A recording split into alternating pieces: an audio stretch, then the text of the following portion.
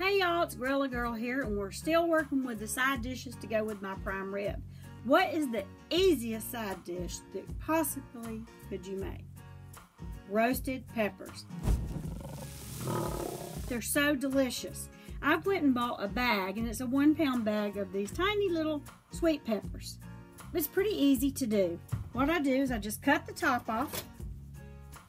Cut it off just like that. Toss it cut it in half. Well, usually when you cut it in half, one side will have the seed pod in it. Take your finger, dig it out. Pretty easy.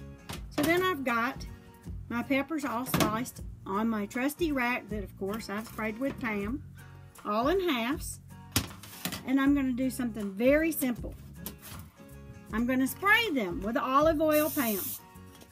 Just kind of get it all on the outside. So they're all coated where they're a little bit shiny, you'll see. And then I'm to sprinkle them with garlic salt. Toss them over. A little more garlic salt. Simple. Now a little bit of black pepper or steak seasoning.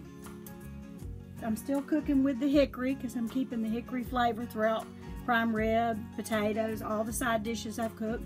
I'm gonna put these on, or you could cook them with the potatoes because it won't hurt if any of this drips. So just flavor the potatoes. Put them on the top rack. 350 for about 15 to 20 minutes max.